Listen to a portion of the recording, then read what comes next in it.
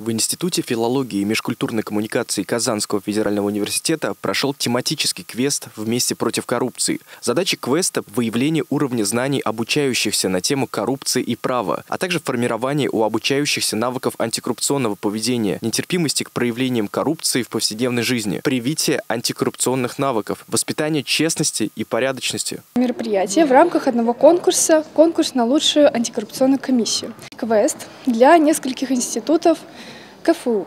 Участниками квеста были студенты первого курса различных институтов КФУ. Квест включал в себя 8 станций, направленных на права и обязанности студентов, воспитание у студентов антикоррупционного поведения. Также во время проведения испытаний командам можно было заработать дополнительные баллы.